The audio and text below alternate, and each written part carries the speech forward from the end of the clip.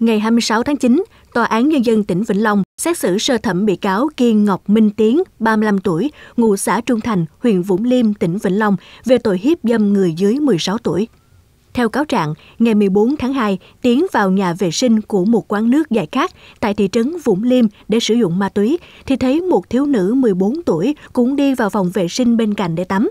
Quan sát xung quanh không có người, Tiến liền trèo tường vào, khống chế, cưỡng bức thiếu nữ. Trong lúc giằng co, bị cáo đã bị nạn nhân cắn đứt một phần lưỡi. Mặc dù bị thương, nhưng Tiến vẫn ngoan cố kéo thiếu nữ ra khu đất trống gần đó, thực hiện hành vi đồi bại.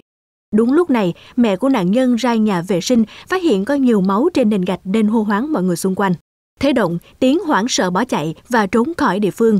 Sau đó đến công an đầu thú, thừa nhận toàn bộ hành vi phạm tội. Hội đồng xét xử nhận định bị cáo cố ý thực hiện hành vi phạm tội đến cùng nên tuyên phạt 12 năm tù về tội hiếp dâm người dưới 16 tuổi.